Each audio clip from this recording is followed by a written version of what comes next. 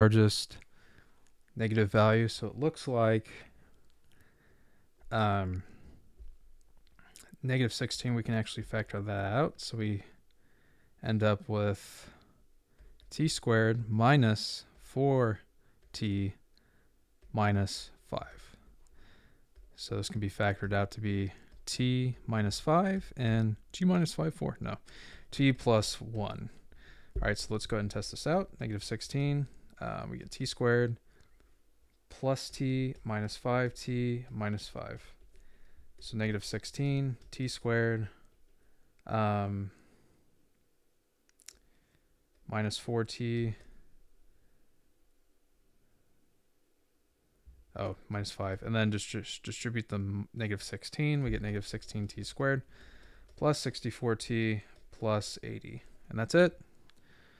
So that proves their factorization is correct. All right. Hope this video helped you out. Thanks for watching. Have a great day.